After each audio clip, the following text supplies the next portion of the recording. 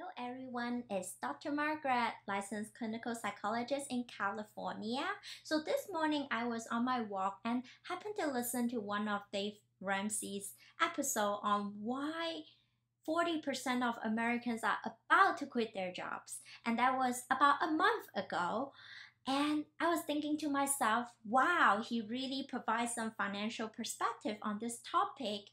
And a lot of my clients are really struggling with this concern as well. So why don't I do an episode from a psychological perspective as well? But before I dive into this topic, I have to say I might be biased. Reason being that about a month before the pandemic, I actually quitted my six-figure salary job for very similar reasons and very different reasons. But this video is not about me, so if any of you are interested in learning about my experience of quitting my six-figure salary job and how I actually become much happier afterward, I'm happy to make another video to cover that. So what's happening right now?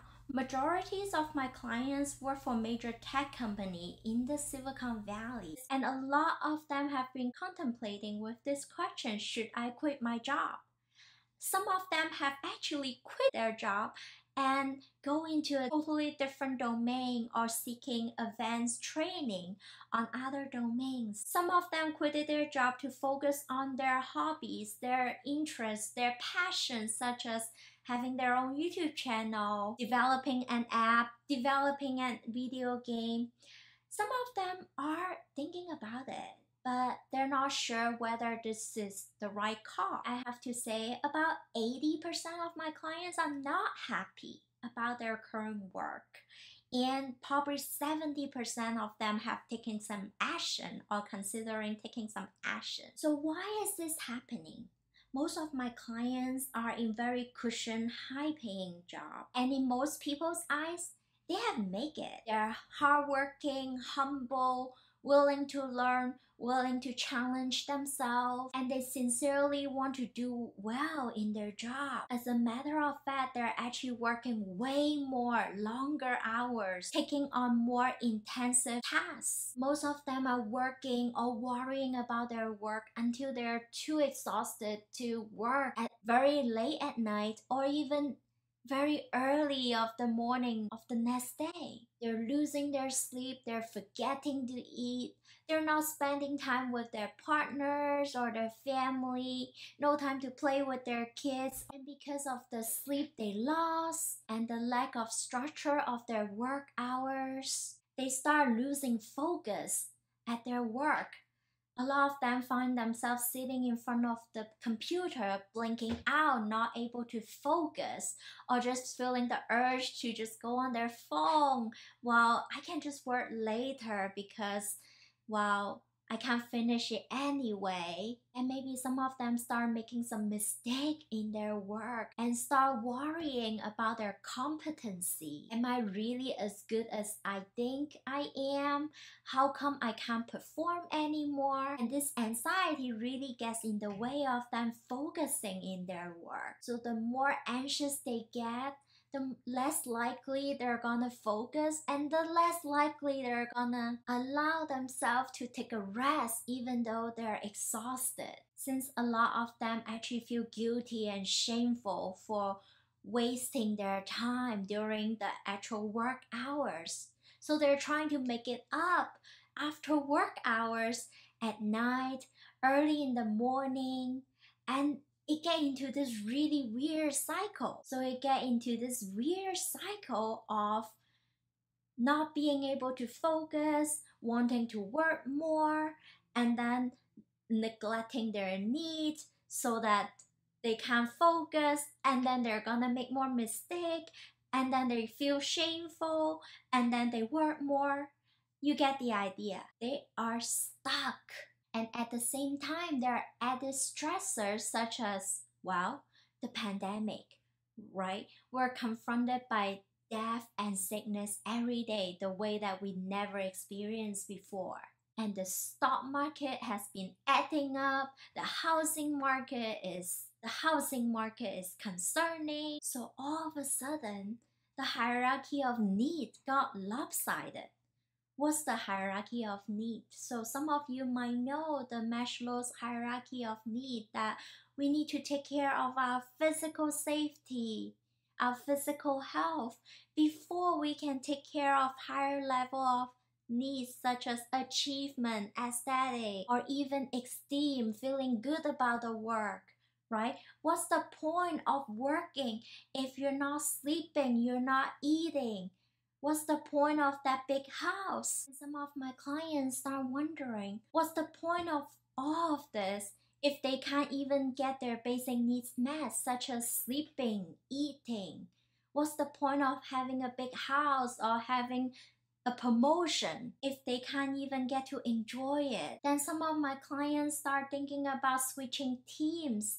But then because the performance from this previous cycle has been impacted by the pandemic and their anxiety, they're stuck. They're not able to switch team. So more people are thinking about taking a sick leave.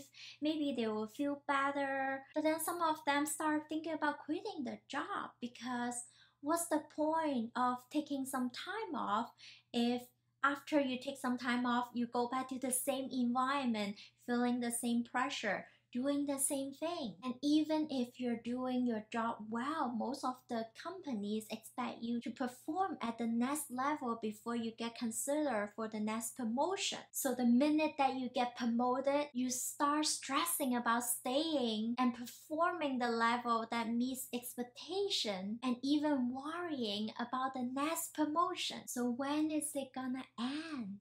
There's this very nice concept called life energy that I learned from the book Four Hours Work Week. Your time, your energy, your mental health, those are all your life energy. And a lot of us are exchanging that for money, for a big house, for our passion.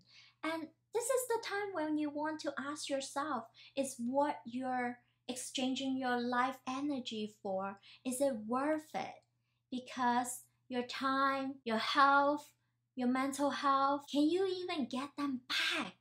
Other reasons some people are quitting might be because during the pandemic, people get to live somewhere else. People get to enjoy life somewhere else and realizing that they can actually do what they're passionate about somewhere else a lower cost of living. So a lot of people are also moving away from this higher cost living area, such as the Silicon Valley, and maybe settle down with a job with much lower pay but more balanced life.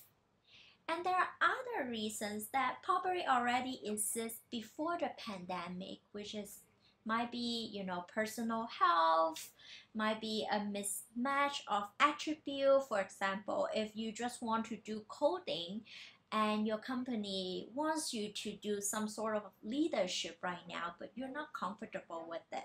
And some people really enjoy that pace right? The slow pace when some company might want to push their employee to move forward right? So some mismatch in culture, some toxic company culture, or even some office politics. So there are many other reasons that already exist before the pandemic, but actually get more intensified during the pandemic. Sometimes quitting your job might not be the best solution or the only solution.